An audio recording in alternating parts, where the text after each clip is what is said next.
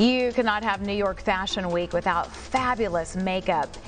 Derrick Rutledge is referred to as the makeup maestro of fans around the world.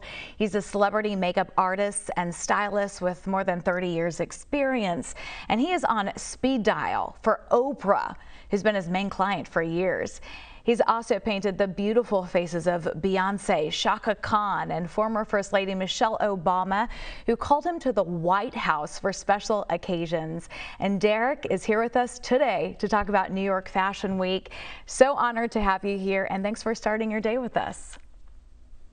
I'm very happy to be here. Thank you for inviting me. So first, we want to know, how did you sec secure a client like Oprah, and what is it like doing the Queen of Media's makeup? Well, um, I started out work, working with, well, of course, as you said, my career is 30 years. Uh, working with Michelle Obama at the White House, I started working with her in 2009.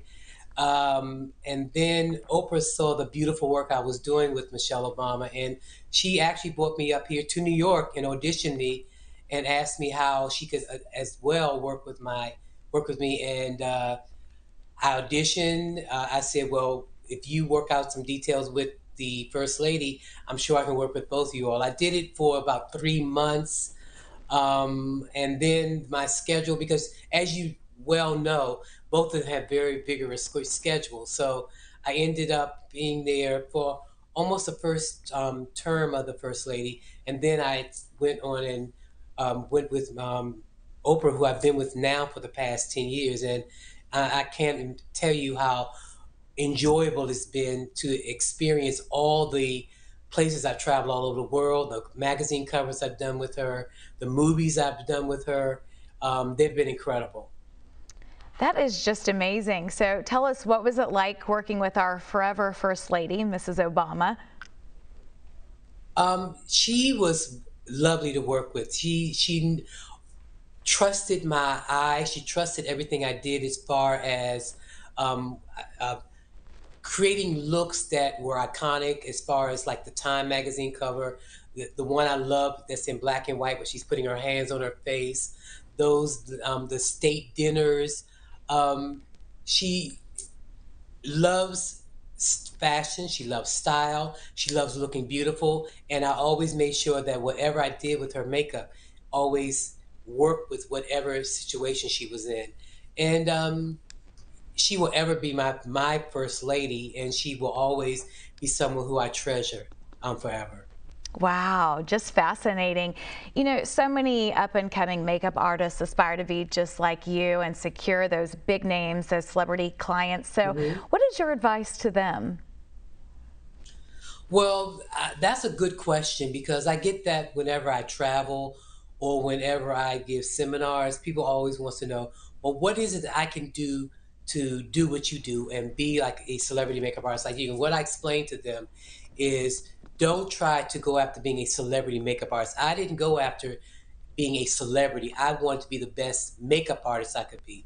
The the work that I did and, and continue to do gets um, people, celebrities, um, always talking about uh, the my attitude, my professionalism, um, how good I smell, things like that. All these things could contribute to being a much better artist and then what, what when people see that then they start passing your name on um, and I and I always say I'm a continuous student because I do get inspiration from a lot of the young people that are out here doing all kinds of wonderful work.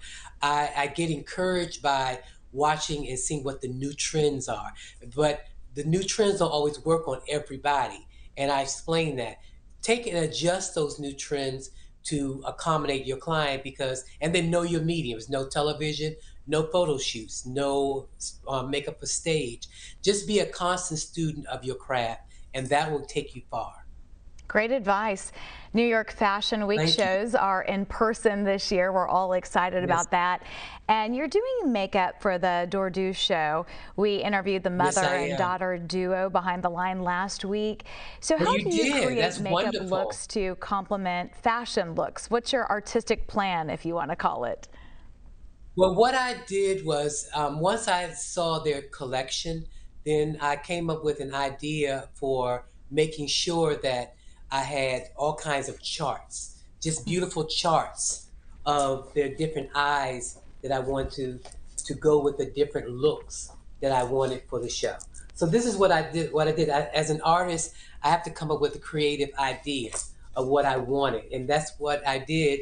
And then once I did that, I got my team together. I sent them the charts, and then once I sent them the charts, they knew exactly how to put together their makeup um, kits so that when we all meet up on the morning of the show and get the models ready, they'll know exactly the look that I'm going for. And then what I'll do is I will set a actual look for each one of the models so there's no question as the look that I'm going for for each model for the show. And those look gorgeous. You know how to make those eyes pop. So tell us about your eyelash and grow serum.